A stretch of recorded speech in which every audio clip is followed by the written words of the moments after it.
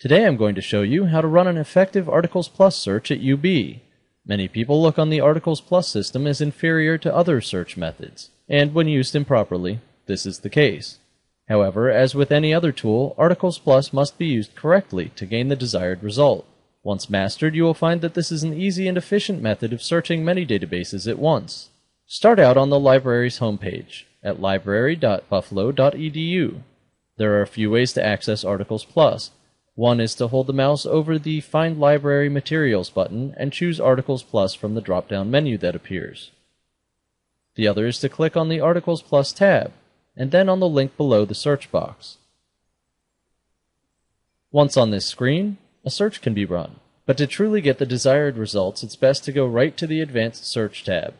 Here you have all you need to run an effective Boolean search of not just one, but hundreds of databases at once. You may type whatever information you have into the various boxes people's names, places, topics, or whatever other information you might have.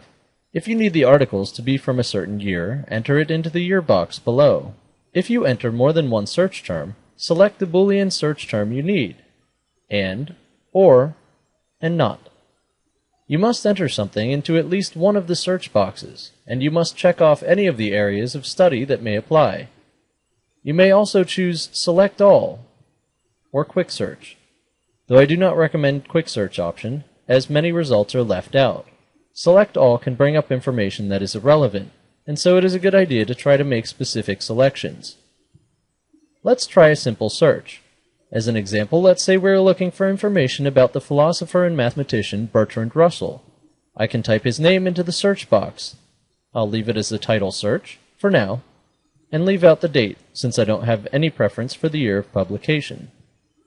For the subject areas, I will select General, History and Archaeology, Language and Literature, Law, Politics and Government, Philosophy and Religion, and Physical Sciences and Mathematics to get a broad scope, and click Search.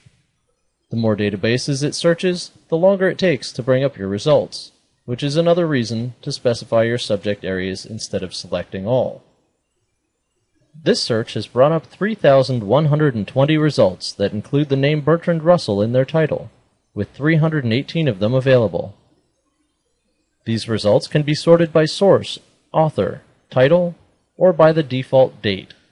A list of over 300 articles is a little much to search through, but at the upper right corner of the results page, we find two filters full text and peer reviewed. When starting out, it is a good idea to leave the full text box unchecked so that you can see all of the relevant titles and not just the ones that are scanned online. Peer reviewed, however, can be a great filter to use when you are working on an academic or professional project and need to ensure that your sources are legitimate. Along the right side of the list are other filters which can be used to narrow and sort your search further. They will not be covered in this tutorial, other than to say that you should experiment with them if you find yourself sifting through a large number of results. After checking the peer-reviewed box, we find that the results have been reduced to 80, which is a reasonable number to look through. However, let's say we wanted to get more specific about our topic. Click on Refine Search in the upper left corner of the page to return to the search screen. All of the information is right where we left it. This time, let's add another search term to the next box down. Let's say that we are looking for his views and works on war. Simply type war into the next search box. For now, we will leave it as a title search as well, and see how many results we get. 65 articles come up. 17 of them are peer-reviewed. This is a decent amount, but we may need other articles as well, so let's refine the search again. This time we will change how Articles Plus will search for the word war. From the drop-down menu, we have several choices. The default is title, so that it will look for the search term that you entered in only the titles of the articles. Next is author, which is very helpful if you need an article written by a specific person. Then there is full text, which will search all of the available text of all of the articles for your search term. Under that is keyword, which will search lists of keywords that the article's authors have provided. Next is the subject search, which will search the subject terms that the authors provide with their articles. After that is an abstract search, which will look for your search terms in the text of the abstracts for the articles. You can also search by ISBN or ISSN number if you have them.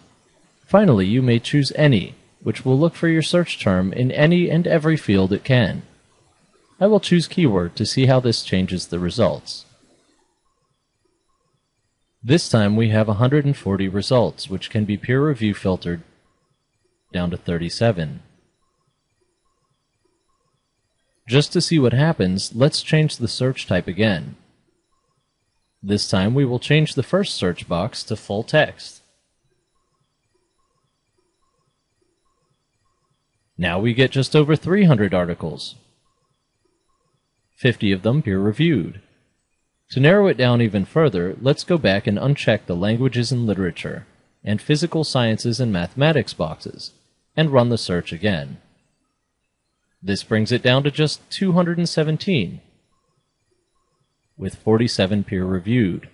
In this fashion, adding and removing search terms, checking and unchecking subject boxes, and running different types of search combinations, one can find many relevant articles, peer-reviewed and not, which you have access to as a UB student. Happy searching!